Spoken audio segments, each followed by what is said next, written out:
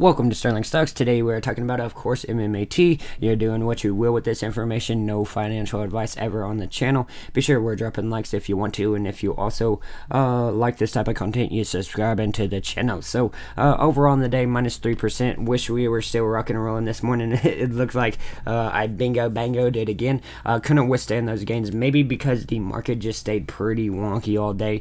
Uh, we'll look at some new fears. CPI data. We'll quick touch it on base on that. Uh, slight miss, not a huge catalyst, not a big enough miss to really drive the stock market.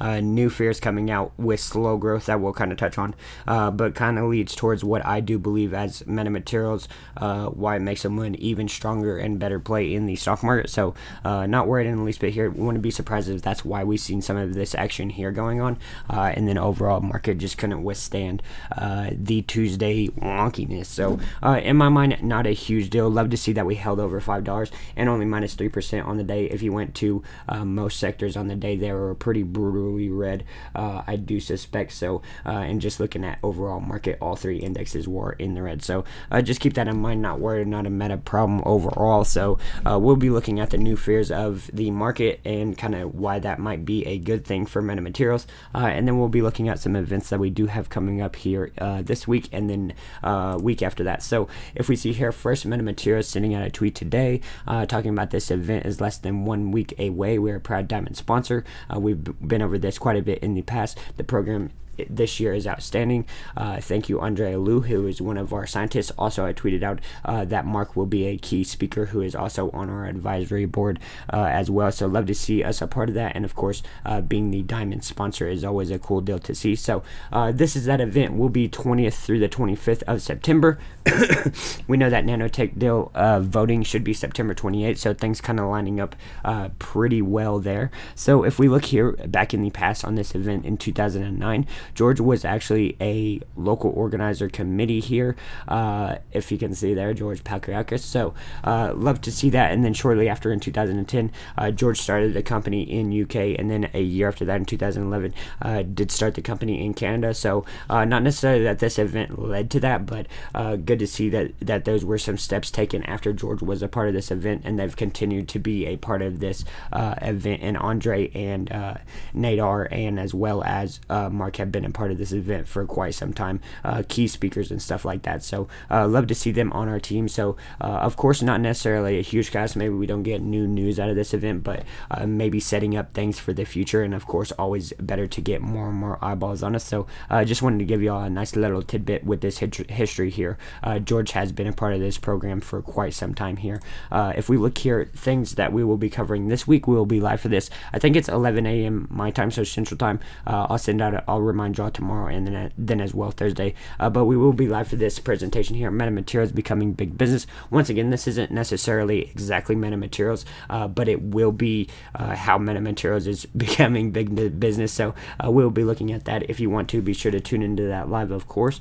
Short numbers on the day, not much change as is. We know short manipulation is here. Uh, seen a tweet today I think we were right around the 59% of the dark pools, of course. Uh, 30,000 according to your Fintel shares, short shares available. We know due to the utilization being pretty high that uh, there's not much ammo to be had, and probably in my mind was doing all they probably could to keep us under this 575 onto six. Because if we get over 670, uh, 675 onto 7 then it could lead to some pretty big moves as I've kind of been pointing to. Uh, and if we can get, get that done by Friday as we kind of touched on last night getting these options into the money could lead us to some gamma squeezes coming on. Uh, so we would just have to see. If we don't see any runs then of course those options do just expire worthless uh, and then we move on and stay patient and we look for uh, the weeks ahead. So if we look here at some possible uh, catalyst for uh, metamaterials here in the upcoming future small caps are cheaper than large caps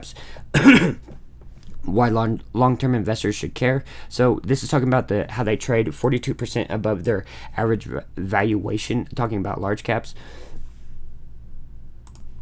Sorry to pause here. So, uh, big evaluations for for your large caps.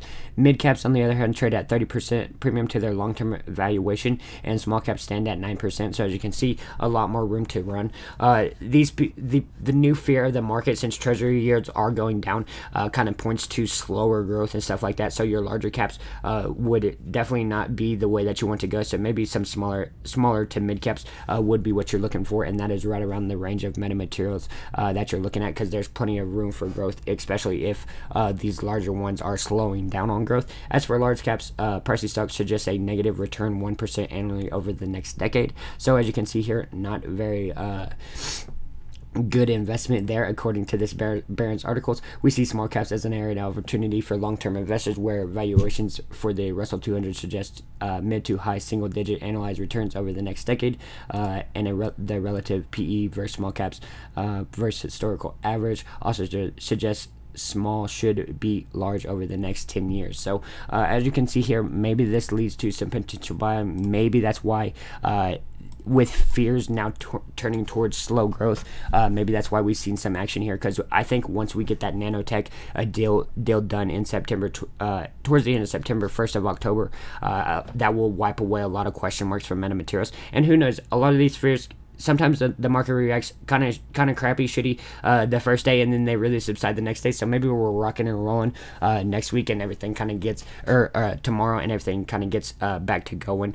Uh, as we know, inflation those fears should be gone by now. Uh, we will see if this slow growth stays around, but in my opinion, that's not necessarily a bad thing for metamaterials, especially with these since we're such on the ground floor. Like I think, in my opinion, all we got is growth ahead of us. So uh, I think a lot more people are going to be interested in buying us. And I think leading up to that nanotech deal, and then shortly after nanotech approves us, hopefully on September 28th, uh, that will lead to even more buying pressure because people are like, man, these guys are about to have some serious, serious production uh, for their products. And that's kind of the, the biggest key that Metamaterials is missing right now. Uh, was going to have to wait till that Halifax headquarters was open uh, at the end of this quarter, beginning of 2022. Uh, but once they get that nanotech deal done, then we already know that we will have 7 million uh, square meters to work with. So uh, that's pretty exciting stuff. And I, th- I think it will bring a lot of attention to uh, Metamaterials stock price once that deal is approved. Got some events coming up here in September. More, more, more eyeballs on us is always good. Uh, so if you want to, be sure to tune into this event here on Thursday coming up.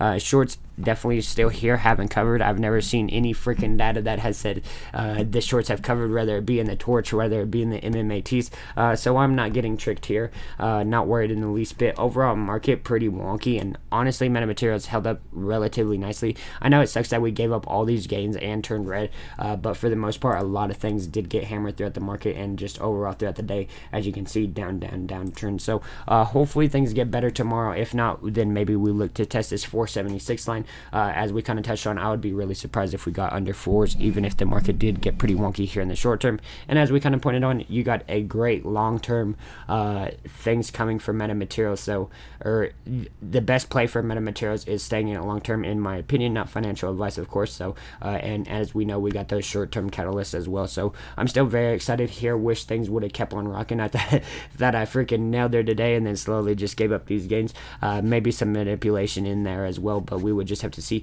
Uh, but yeah, things pretty much uh, rocking and rolling still here for we'll be covering that presentation live. Appreciate all y'all. That's pretty much it. So I will see y'all uh, tomorrow. Be, like and subscribe. Yeah, yeah, yeah. See y'all later.